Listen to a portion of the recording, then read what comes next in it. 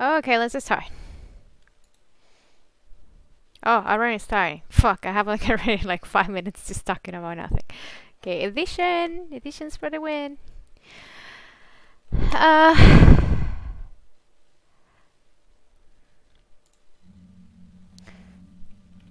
Well, let's just start like this. Well, hello everyone, long time to see you. I wanted to create this series of videos more than any other else is because most of the person who played the game, the, they don't really few of them played the DLC. So, and most of the persons try to look for videos or gameplays or stuff like that just to know if the DLC are worth to buy. So that I hope this video gonna help you with that. So before actually starting with the DLC, I'm gonna make a kind of quick intro about the DLC just to see if you're interested to actually buy it and play it. Or just watch my stream because you don't feel like, nah, I'm gonna buy it, I'm just gonna see this girl stream. So from Evil Within 1 is three DLCs. Is the assignment, the consequence, and the third one that I remember the name, but it's I'll tell you about that after. So this DLC in meaning of a cool game to play, they're okay. They're not as fun, but still good. It's more about surviving, sneak around, and solve puzzles. But in the story meaning they are important so if you are playing this game because you actually like a lot the story i do recommend you to buy the dlcs and play them and and also if you like this kind of you know survival things and post and sneak around and stuff like that. But if you just just don't want to, to to play it you just want to just look for the things you're missing about the story about the game you can just watch my my videos. So basically the DLCs, the first two DLCs are about Kidman and they're important and they're really really important in the story meaning because it allows you to understand way better what was going on in the Evil Within 1 why the things were going on like the war was happening why Kidman was doing what she was doing and they introduce you more about Mobius and how Mobius is and the relationship that she had with Mobius and Mobius with with Ruvik and all these people involved in all this situation and also helps you to understand way more the evil within 2 because if you're really keeping track on the story you really need to know what's what happened in the DLC to understand everything all the story you can uh, put it together and really understand it. So I'm going to start and I'm going to up the, uh, upload the videos of the segment and the consequence. They are the two DLC of Kidman that you actually play with her. But I'm going to do the third one. Why the third one? The third one is just like a kind of troll game. Have not really history value. You're basically playing with the, you know this boss, the keeper, or in Spanish it's el guardián. You know the guy with the, the safe head. Just smash people around with the hammer and uh, kind of bag with something in there. So you're just going around just smashing zombies and the story is really simple. So I'm just gonna spoil you, I advise you they're gonna spoil you because I wanna upload that DLC, I don't think that is that important. And the spoil is that DLC is only about that you are the the the keeper and you're just smashing something around and the only important thing that happens in there is that you actually see Joseph Joseph is an actual boss that you have to fight with. He apparently, if you keep in track in the story, apparently, and all these people goes away and they left Joseph in still connected in the stem. And Joseph was completely corrupted in the minute that he was like all bubbling and itching like crazy, and he was just acting all violent without really like thinking what he was doing. He was he was completely lost. The other important thing about the uh, keeper is the um, Mobius was doing experiments to try to ruin a stem without a core and what's gonna happen if you run a stem without a core. So all the story is about the keeper. The keeper is something that was created by by Ruvik. So they took a normal guy and they found a way to link his brain with the brain of the keeper so he can be able to control the keeper inside the stem and of his actual body. So all the story is about to he controlling the keeper to find a girl that is supposed to be his daughter. So the daughter too was leaving like tracks so he could find her, and she was leaving like letters and stuff. And you were you're going you keep track of those letters, and basically what you notice is that she was losing her memory a little by little in in the time that she was standing in there.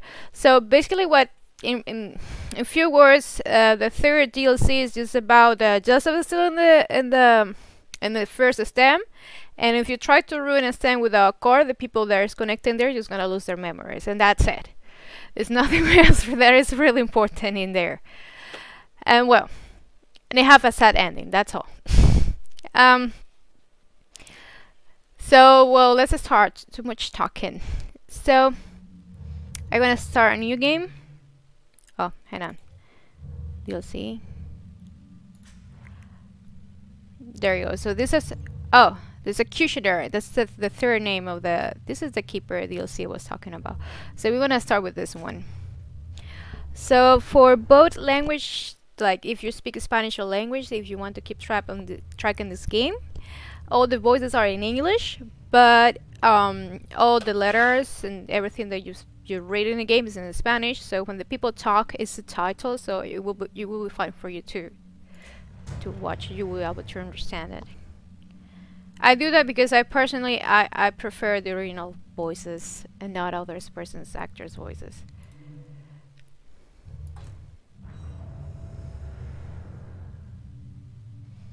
Okay, let me remember how to play this.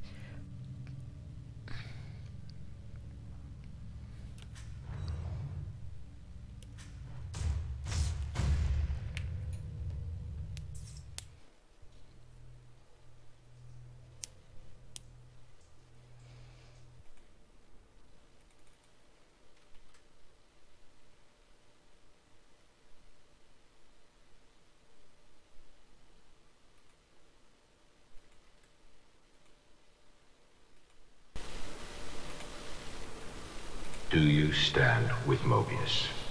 I do. I made my choice.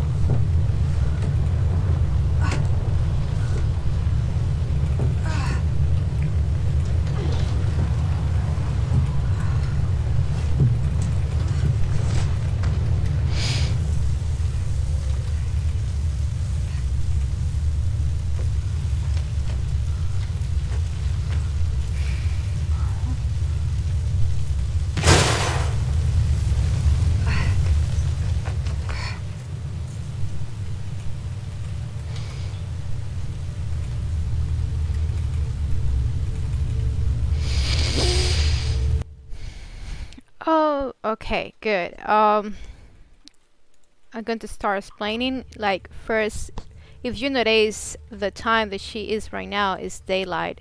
So when you play with uh, Sebastian, it was already night. So she basically went out of this place way, way before that they did. So actually, if you see the the ambulance is empty, and she was with Marcelo's um and Leslie. So Leslie and Marcelo were the first one to leave and leaves these two guys behind. So apparently, No blood. Or anything. so this is so confusing because in this part of the car, it's supposed to be Sebastian and the driver. So it's kind of weird that she cannot see them.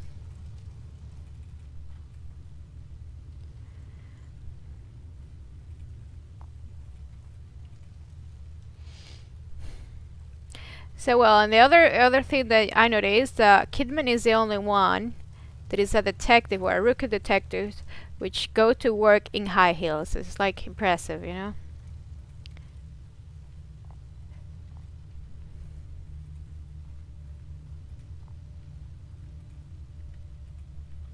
So if she doesn't run, it's like it's the best he couldn't run was because he only drinks coffee and, and alcohol, Kidman probably doesn't run is because she's in high heels. yeah, I think I'm just going in circles. The crash. I wasn't alone. Where is everybody?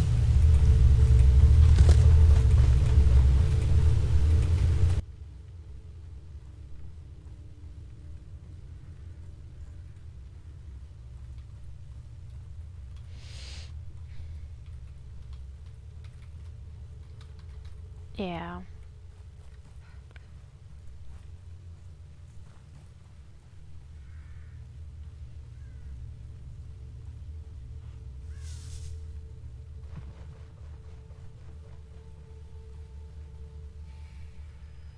I remember you had in here an action with Sebastian.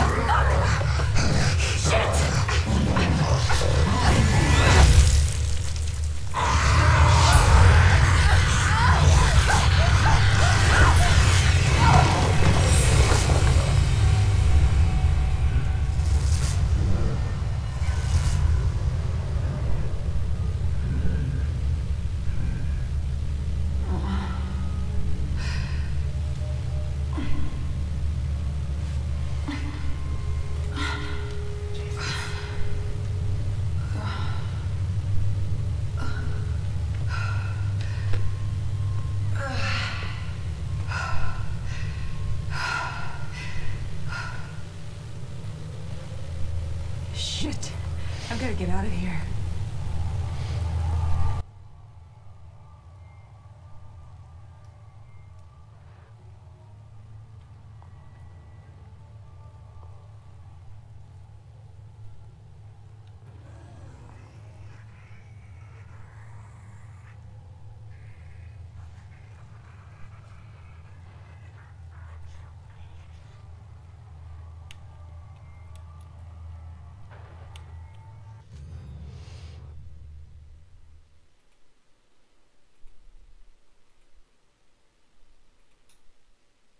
Maybe I have a question. I wanted to ask you.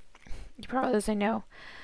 you know, um, you can categorize the crimes depending how bad the crime was. So when there are crimes, they're not a really big deal, like stealing food or stealing like the clo- uh, clothes in the store. They're not a really big deal. How you call that?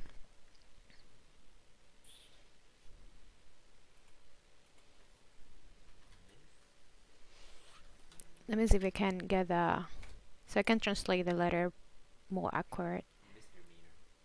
A misdemeanor?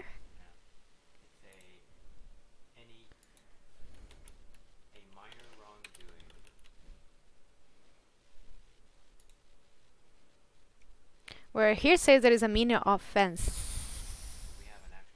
Oh, you have an actual word for that? a a misdemeanor. A Mr. misdemeanor. Oh, okay, misdemeanor. that sounds so weird. All right, so basically, this is uh this I mean, just minor offense. That's I think that's minor offense. No, I want to be more technically. So misdemeanor. yeah. says misdemeanors are generally punished less severely than felonies. yeah. Okay. Anything more so than infraction. Okay, the file cell description um, that eliminator of files eliminator of uh, mis- a misdemeanor. So all of this is just delitos siendo menores. That means uh, misdemeanor. So they're basically saying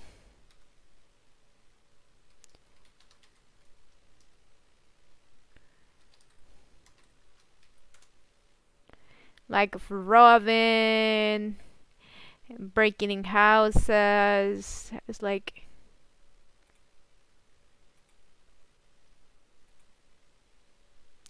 um alc- alcohol consumed and in when you are underage um stealing and try to resist to be arrested stealing inside somebody's house in a residential area. Um something that suggests that she had some sort of drugs and she was selling drugs.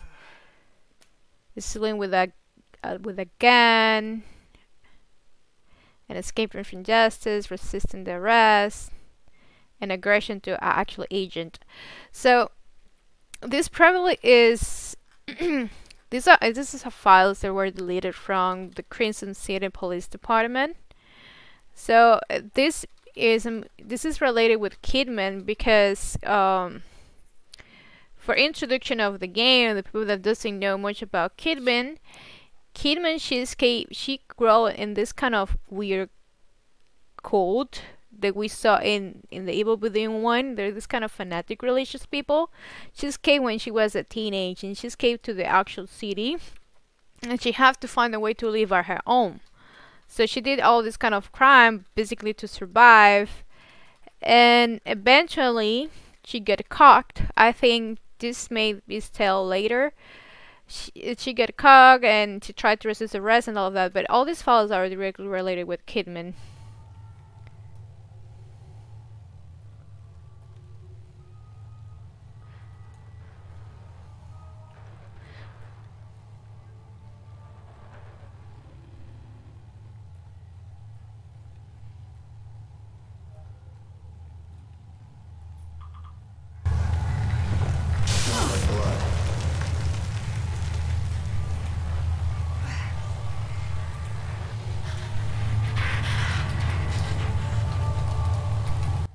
Man, where's the zombie? I can hear it.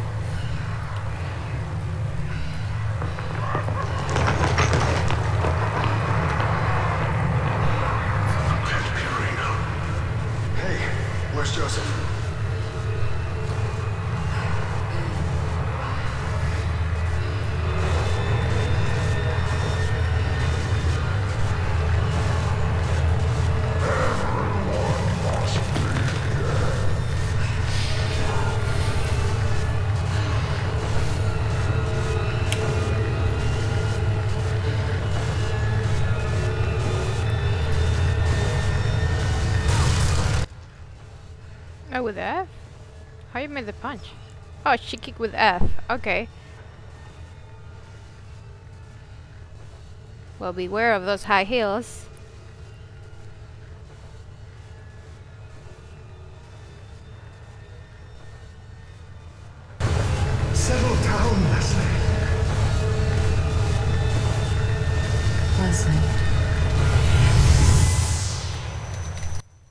Oh, so he was already controlling Leslie. Leslie. Leslie Withers. I'm sorry? Kid, I need you focused. I need your attention. This is a serious matter. Everything we do is a serious matter. I'm ready. I'm ready. I'd like to think so, but conviction must be proven with action. As I was saying, your target is Leslie Withers. He's a patient at Beacon Mental Hospital. But he's something more. Simply put, we need him to run our STEM system.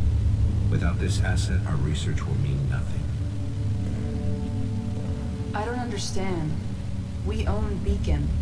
Why not just take him? Our relationship with his advisor, Marcelo Jimenez, has become rather strained. Boy is a leverage piece. Jimenez plans to activate a STEM prototype at Beacon without our permission. Obviously, that's unsuitable. Have no illusions. It will be dangerous. Come. Take a walk. The nurses are waiting.